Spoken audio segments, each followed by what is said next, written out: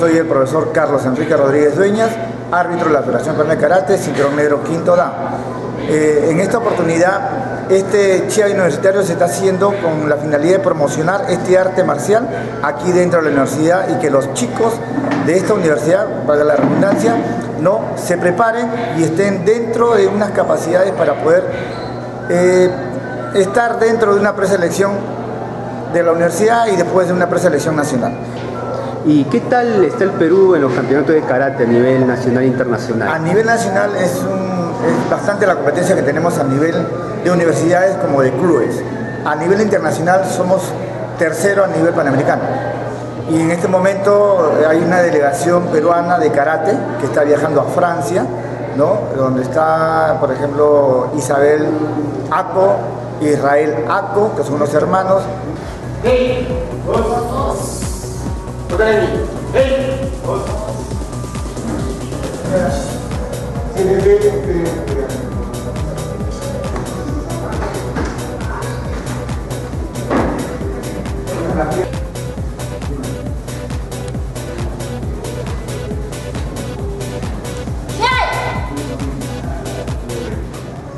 En esta oportunidad, en este CHAI universitario, tenemos eh, el apoyo técnico de la Federación Peruana de Karate, en la cual nos ha brindado el apoyo con los árbitros nacionales e internacionales, como es el profesor Harold Vázquez, el profesor Wilfredo Diseño y el profesor nacional, el árbitro nacional que es Omar Urdanibia. Ellos van a estar a cargo de la parte técnica del arbitraje, tanto lo que es kata como kumita. cuéntenos más o menos cuáles son las reglas básicas.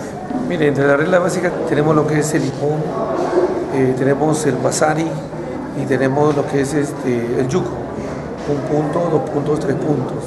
Se les da a aquellos alumnos que aplican una buena técnica en una zona puntuable, ya sea en la parte de Chodan, que es la cara, en la parte Chudán, o en la parte eh, eh, lateral, lateral y, el costado, la espalda.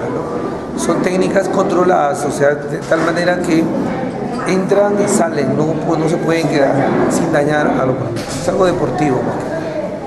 ¿Cuántos años ya en el deporte del karate, arbitrando? Arbitrando, arbitrando más de 20 años. ¿Y el karate total más de 35 años. Y supuestamente que usted ha viajado por todo el país, también internacionalmente. Sí. Cuéntenos su mayor experiencia a nivel internacional, en un evento. ¿En qué evento importante ha estado internacionalmente? Ya, en Estados Unidos he participado en campeonatos donde he arbitrado, he participado también como competidor, ¿no? logrado traer eh, medallas para acá, para el Perú también. ¿Ququé condiciones básicas debe tener un karateca? Lo principal es ser disciplinado. Tiene que ser disciplinado tanto eh, físicamente como espiritualmente, psicológicamente, para todo tiene que ser disciplinado. ¿Por qué es importante eh, la disciplina y el karate en la universidad? ¿Qué puede aportar a los universitarios esta disciplina? Eh, bastante dominio propio, ¿ya? porque puede ser que un alumno sea buen estudiante, pero sus emociones se disparan ante cualquier, eventualidad. En cambio, cuando hacemos karate nos encontramos ante una situación estresante que es controlada. ¿Cuál es esta? El oponente. Y si uno no aprende a dominar sus emociones delante del oponente, entonces se va a ver en problemas más adelante. Entonces, de manera paulatina y con los ejercicios, las técnicas, las, estrategias didácticas del sensei, el alumno, comprometido por supuesto con el karate, va a poder este, ir mejorando su parte actitudinal.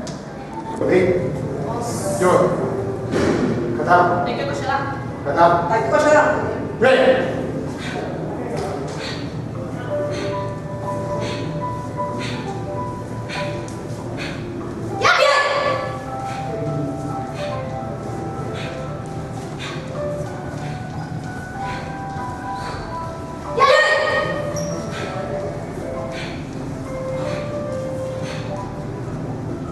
tal? Buenas tardes. Mi nombre es Sheila Tatiana Ludeña, soy de la Universidad Católica de Sapiens. Eh, bueno, ahora eh, todos los valores y expectativas que tenemos respecto a esta disciplina que practicamos, que es el karate, eh, siempre nos están contribuyendo para mejorar de manera personal y alimentan lo que es nuestro espíritu y conocimientos propios. Eh, las expectativas que tenemos respecto a lo que es este primer encuentro entre universidades, ¿no? torneo invitados por la Universidad de Ciencias y Humanidades.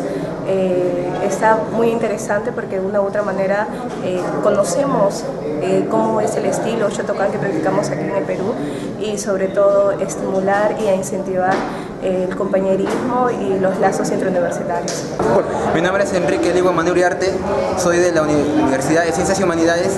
Este, yo me intereso este, en este concurso gracias a mi tutora, que nos dio la oportunidad de participar y realmente me siento muy contento de representar a mi universidad y espero que ese campeonato sea algo bueno para nuestra universidad que lo está promocionando este año. ¿Y desde cuándo practicas esta disciplina? Cuéntame. Bueno, lo practicaba de muy pequeño, lo dejé un, tiempo, lo dejé un tiempo, eh, pero he vuelto a retomar. Eh, mi, papá, que es profesor de karate, me está instruyendo para el campeonato y, estoy volviendo a entrarme a lo que es el karate y gracias a la Universidad de Ciencias y Humanidades que en diciembre va a haber sus talleres de karate, es una gran oportunidad para yo poder continuar eh, lo que he aprendido de muy pequeño. ¿Y por qué crees que es importante la práctica de este deporte? Bueno, es muy importante porque como eh, en su significado dice, ¿no? El karate eh, nos ayuda a ser personas espirituales. No usar el karate como violencia, sino usar es una forma para poder defenderse. Para mí el karate es un medio para, para poder incrementar nuestras habilidades físicas y cognitivas, muy importante para mí. Mi nombre es César Augusto Ramírez Nahual, soy de la Marina de Guerra de Perú. Practico karate por motivo de, preparación que tengo como militar para, para tener noción de defensa personal. ¿Cuánto tiempo practicas el deporte? Tengo un año practicando el deporte. ¿Y qué expectativas tienes ahora que estás participando en este torneo interuniversidades? Eh,